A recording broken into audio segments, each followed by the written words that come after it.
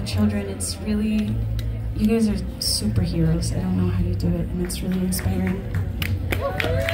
And a lot of us are out here.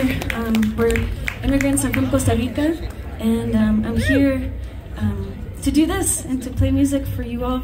And um, I only get to see my family once a year, and that's the story for many of us. So um, it goes out to all of all of our families back home. Get a little sentimental. okay. Also, we have some cool shirts with Sacrificio de Amor later. PSA. we gotta, we gotta host you know? La chamba, you know? Okay.